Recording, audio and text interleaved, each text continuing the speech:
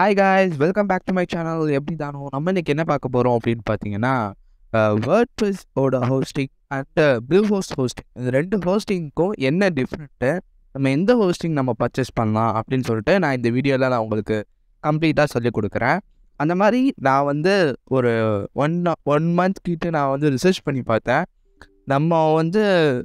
Hosting purchase பண்ணுறதுல எந்த platform இந்தியாவில் பெஸ்ட்டாக இருக்குது அப்படின்னு பார்த்தீங்கன்னா ஹோஸ்டிங்கர் அண்ட் ப்ளூ ஹோஸ்ட் இவங்க ரெண்டு பேர் தான் ரொம்ப நல்லா பண்ணி கொடுத்துட்ருக்காங்க. ப்ரைஸ் வைஸ் ஹையாக இருந்தாலும் நிறைய பேர் வந்து வெப் ஹோஸ்டிங் ஷேடோ ஹோஸ்டிங் வந்து நிறைய பேர் ப்ரொவைட் பண்ணிக்கிட்டு இருக்காங்க இந்தியாவில் பட்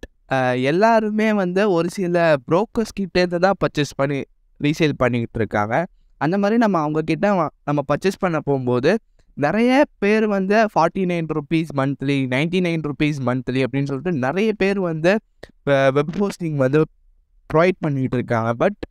அவங்கள விட ஹோஸ்டிங்காக டபுள்யூ ஹோஸ்ட்டு தான் ரொம்ப ட்ரஸ்டடாக இருக்குது ஏதாவது ஒரு ஏதாவது நமக்கு ஒரு ஹெல்ப் வேணும் அப்படின்னா நம்ம ஈஸியாக அவங்கக்கிட்ட நம்ம சொன்னோன்னா நம்மளுக்கு அந்த ஹெல்ப்பை வந்து பண்ணி கொடுக்குறாங்க. Twenty four by seven customer support